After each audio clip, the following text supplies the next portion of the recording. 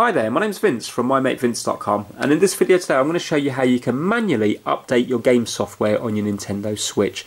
So all you need to do is you need to go to the particular game you want to update. So for example if I want to do Mario Kart 8 all I have to then do is hit the plus button or the minus button. They will both bring up the same menu. So if I hit plus you will then see it brings up this menu here.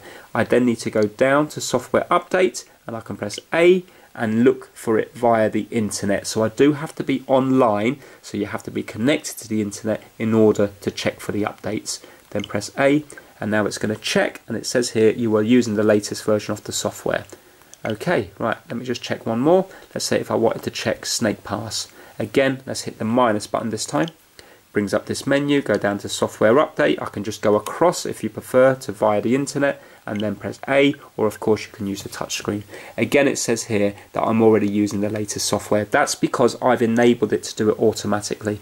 Now it should be like this by default but you might have disabled it when you were playing around in the settings. Let me show you how to check that. Just go to system settings and then you need to go all the way down here to system and then you need to look for automatic software updates. And at the moment you can see I've got mine set to on.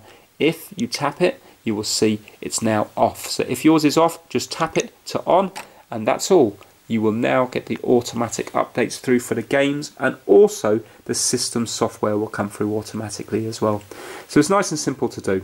If you've got it set to on and it's not working then normally if you fully power down your switch and turn it back on again that can solve that problem so for example if I was to hold a power button down for about three or four seconds you will see that this menu will come up and now I can go down to power options and press A or you can just tap the screen and now I can go to restart or power off now by doing that that will hopefully fix the issue. So I hope you enjoyed the video. Please give it a thumbs up if you liked it and please subscribe for more how-to videos. Take care. Bye now.